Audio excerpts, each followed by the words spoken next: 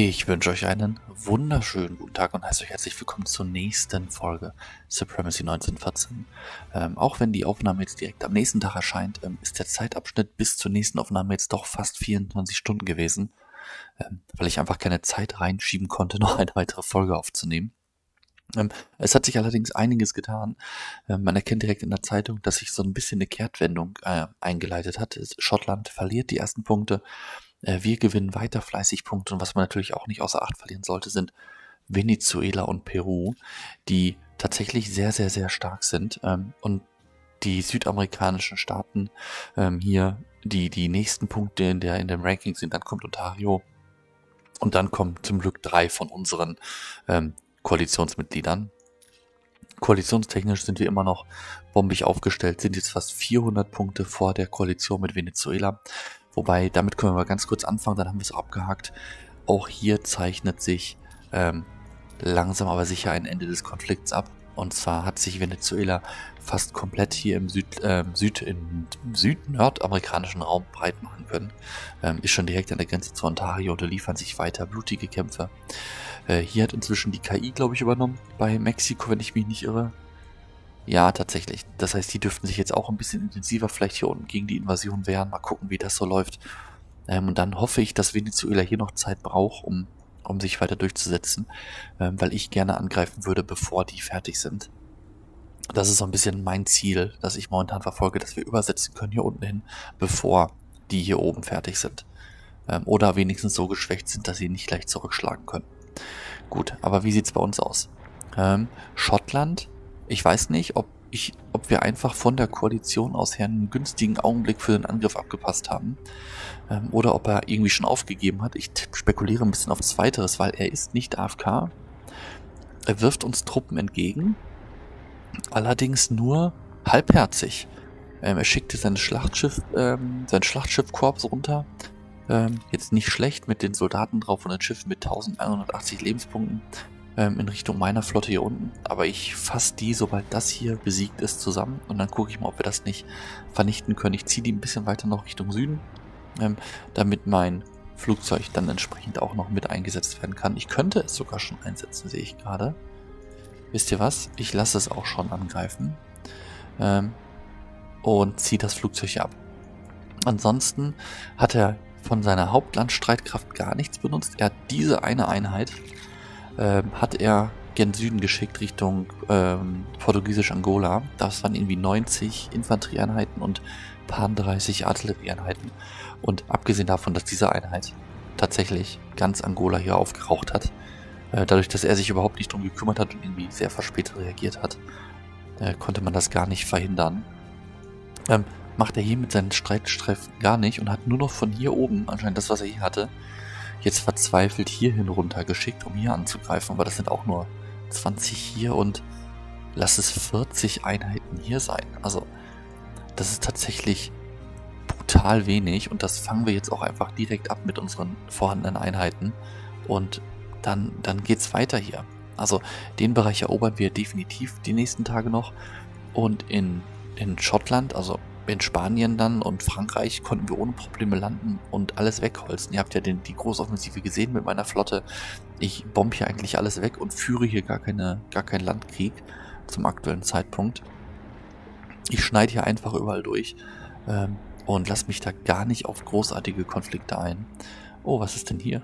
Das ist ja eine kleine Provinz. Wieso habe ich die nicht eingenommen? Gute Frage. Nächste Frage würde ich sagen.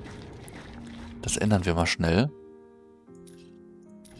sind Lebensmittel, Dingens, die brauchen wir ganz, ganz dringend, wie ihr hier oben seht. Also essenstechnisch haben wir wirklich ein Problem. Und ansonsten machen wir so weiter. Mein Plan war jetzt eigentlich mit meiner Seeflotte hier weiter rumzufahren und hier auch einfach alles wegzuschießen und mich dann so weiter durchzuarbeiten, sodass ich möglichst wenig von meinen Landstreitkräften verliere. Ich ziehe auch immer noch fleißig rüber, einfach als Verstärkung, weil ich davon überzeugt bin, dass er mir vielleicht doch nochmal alles entgegenwirft oder die KI übernimmt, weil er dann irgendwann am Ende des Tages KFK geht.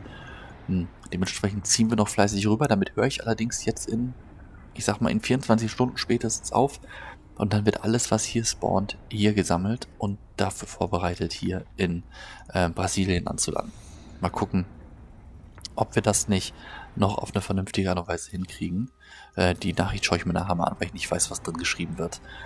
Ähm, und so geht's weiter. Ähm, und wir haben tatsächlich keine Probleme mehr. Auch produktionstechnisch sind wir momentan auf der, auf der kompletten Höhe. Wir pumpen raus, was wir irgendwie können. Es dürften gleich auch schon wieder Sachen fertig werden. Ah, hier wird noch gebaut, hopp. Und ähm, es, es, es läuft wie am Schnürchen. Also ich kann mich tatsächlich, wieso kann ich nicht bauen in Madrid?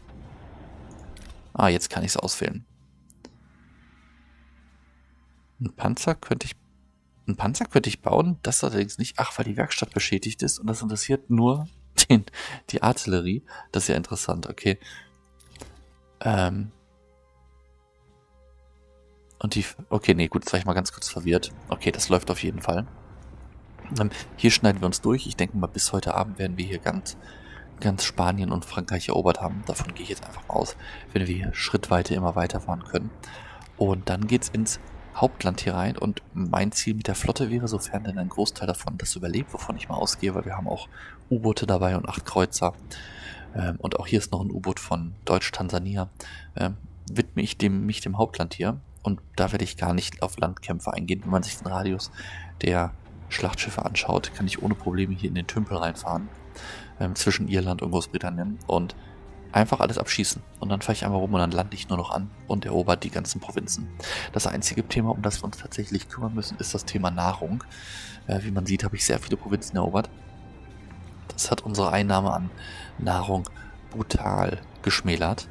Brutal. Und auch das können wir mal wieder ausgleichen. Ähm, und das müssen wir ein bisschen in den Griff kriegen.